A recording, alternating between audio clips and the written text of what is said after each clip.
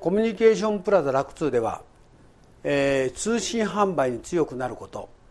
えー、やはりお店での売り上げ、えー、これは重要なあ部分だと思いますが、えー、そこまで来れない方たちがたくさんいらっしゃいます。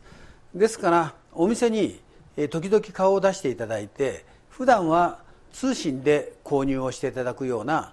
え、ことも小さなお店としては必要だと思います、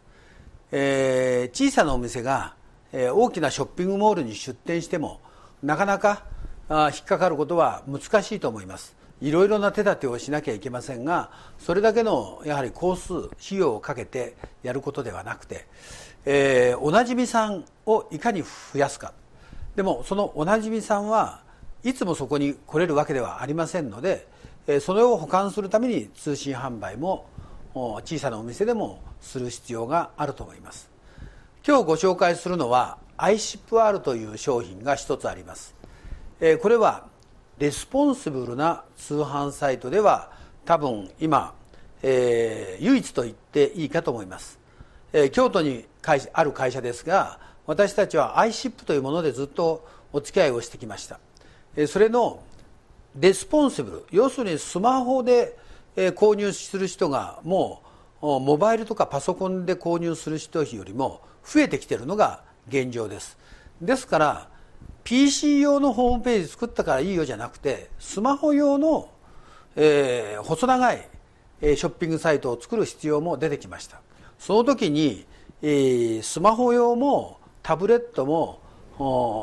PC 用も作り直すのは、えー、大変な作業がかかります。ですから、スマホ用で作ることによって、えー、クラウド上も、えー、モバイル、うん、タブレット用も、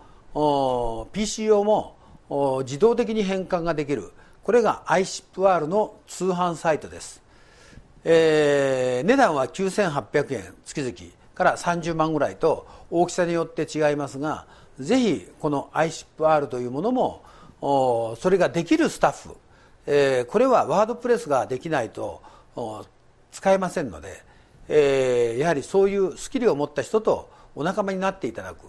えー、そんなことが必要だと思います。もう一つ、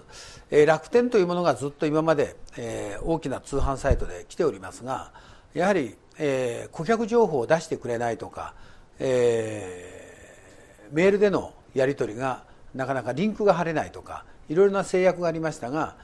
え、去年の9月からヤフーショッピングがそれを全てオープンにしております、え、その時にはヤフーショッピングというものも今着目されている部分です、このような、えー、決済付きの